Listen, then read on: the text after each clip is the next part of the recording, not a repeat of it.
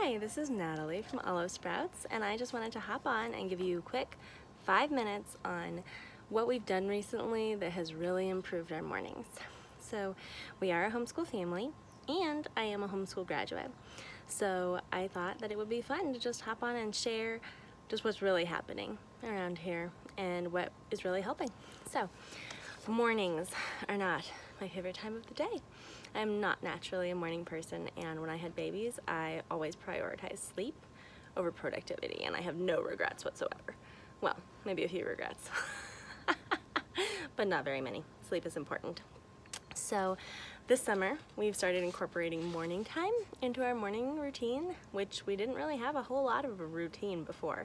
So it's made a huge difference.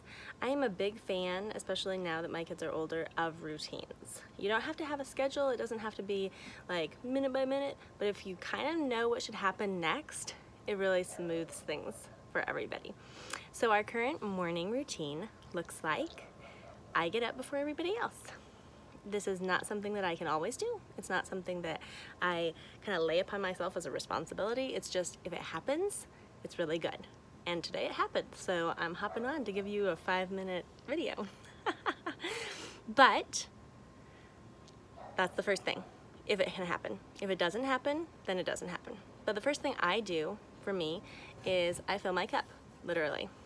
I make my tea, I print out the chore list for the day, and I start getting ready for breakfast and morning time.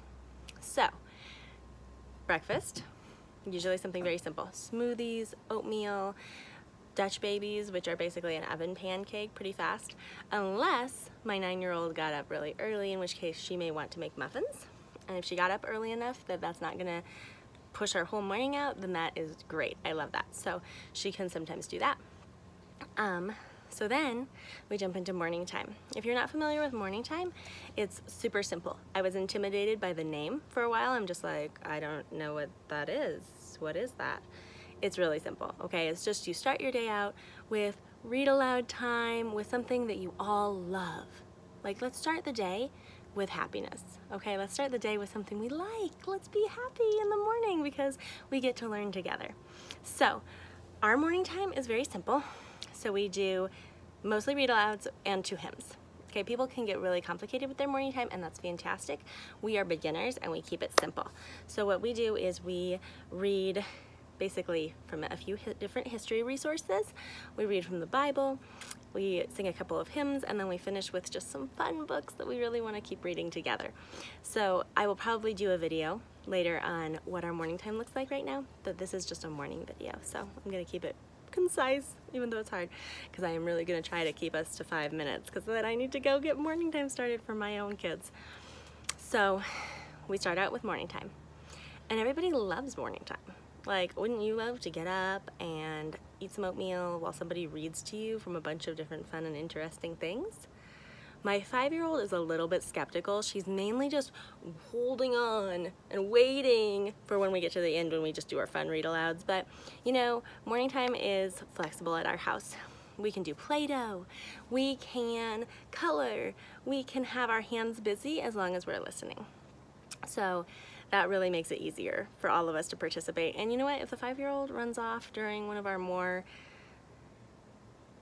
advanced selections, I may just not call her back right away too.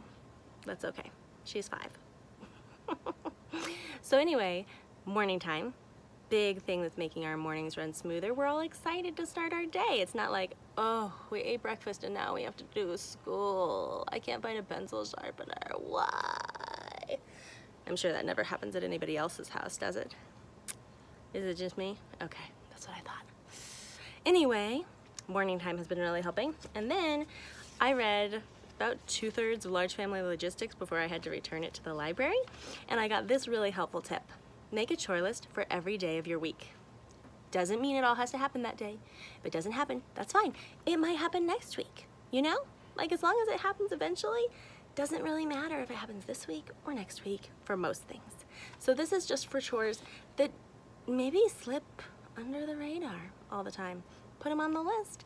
Once a week, you get a shot at making them happen. So here is our list. I know it's reversed for you. Thursday, it says at the top, deep cleaning is our focus. So then it has everybody's names, and that they need to make bed, get dressed, brush teeth, and do one chore, it's listed here which chore it is, before they come to morning time. So that means they need to be productive before morning time. We all sit and rest at morning time. And then after morning time, we'll have a short morning chore time where they will get to pick a couple chores off the list. That gives me control over where they're focused, but it gives them control over what chores they would specifically like to do. Sometimes they are assigned to specific people with their name after them in brackets because that person needs to work on that skill. Life skills are super important, guys. So, those are two things that have really, really been helping our mornings. And a third thing that I'm gonna throw in there really quickly is that if we can do morning time outside, we all, I feel, just enter our day with a lot more calmness. Nature is good for us too. So anyway, that's my video. I am over five minutes, but it was fun. So let me know in the comments what your thoughts are. What is making your morning run more smoothly? Give me a like, give me a thumbs up. I don't know how YouTube works yet, but it's fun. So see you later, guys.